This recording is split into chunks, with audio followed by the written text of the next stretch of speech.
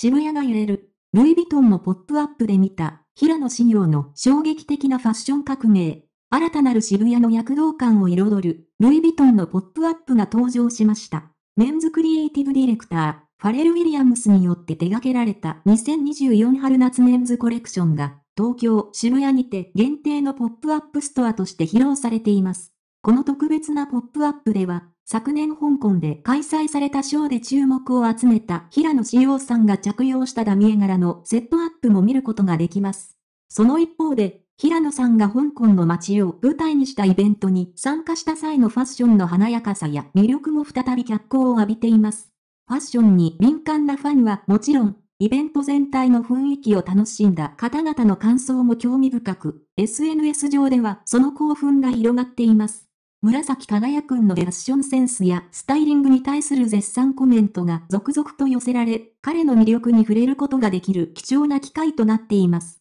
ルイ・ヴィトンは、このポップアップストアを通じて、昨年の6月にパリで開催されたファッションショーの象徴的なデザインを再現し、遊び心に富んだ独自の世界観を表現しています。店内に足を踏み入れれば、ゴールドカラーを基調とした広々とした空間が広がり、天井から吊るされたキューブ型のインスタレーションやデジタルアニメーション、そしてルイ・ヴィトン仕様のゴルフカートなどが目を引きます。2階に上がれば、ペパーミントグリーンの壁一面にモニターやスピーカーがディスプレイされ、本コレクションならではの雰囲気の中でショッピングを楽しむことができます。デジタル化されたラモフラージュモチーフがアイコニックなダミエとモノグラムと見事に融合したコレクションはメゾンのエンブレムを象徴するシルエットが際立っています。また、ファッションショーに初めて出席した平野志行さんは、感動のコメントを寄せています。会場の装飾、登場したルック、そして最後の上空の演出まで、瞬きを忘れてしまうくらい素晴らしいショーでした。